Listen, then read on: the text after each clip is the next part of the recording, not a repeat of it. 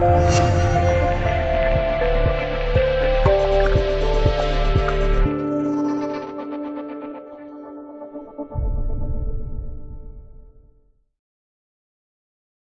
津权健今年的运气是真的差到家了。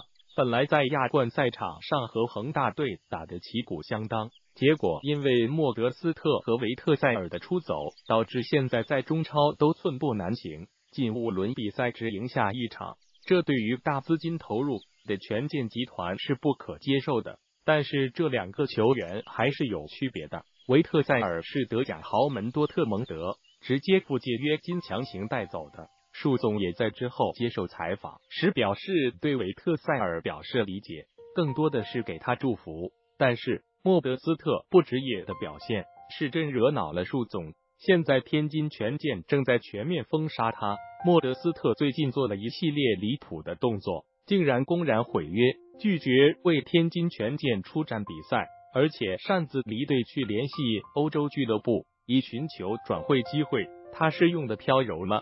到底是哪来的自信啊？还在外媒面前谈论自己的中超合同是无效合同等等，这一系列事件直接打击了中超形象，让中超在海外推广的形象受到损害。不过就在最近几天，天津权健开始对莫德斯特展开全面反击，就莫德斯特违约一事收集证据，并提交中国足协、亚足联和国际足联，并同时向有意向的潜在下家寄送律师函。声明违约情况和所有权。近日，莫德斯特与多家俱乐部传出绯闻，包括俄超劲旅莫斯科火车头、法甲球队波尔多、法甲球队尼斯、法甲球队马赛、土超豪门加拉塔萨雷、土超豪门贝西克塔斯、土超豪门费内巴切。莫德斯特的实力还是有的，只是人品实在是不怎么好。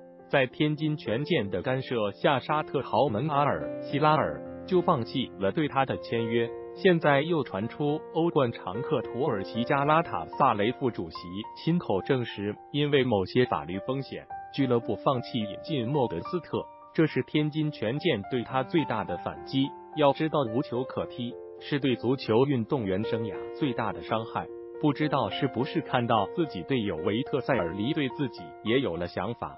不过，中国有句话叫“好聚好散”，真的提出转会申请，俱乐部肯定会认真考虑这件事的。这样背地里玩这些小动作，呵呵，那你可真的是小瞧树玉辉了。在签约无望和与权健俱乐部彻底撕破脸的情况下，等待他的将是没有一分钱薪水的合同和漫长的无球可踢的日子。各位看官对莫德斯特这件事怎么看？欢迎在下方留言。我们一起谴责他，爱生活，爱足球。